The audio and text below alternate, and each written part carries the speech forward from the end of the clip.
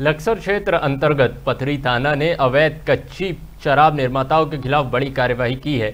इस कार्यवाही के तहत ही पथरी पुलिस ने बाणगंगा किनारे छापेमारी कर मौके से 50 लीटर अवैध कच्ची शराब व भट्टी उपकरण बरामद किए हैं। इसके साथ ही पुलिस ने कच्ची शराब बनाने के लिए तैयार करीब 2000 लीटर लाहन को भी नष्ट किया है। वहीं मौके से शराब भट्टी चला रहे आरोपी फरार हो गए हैं, जिनकी पुलिस द्वारा तलाश की जा रही है। लक्सर से अरुण कुमार की रिपोर्ट।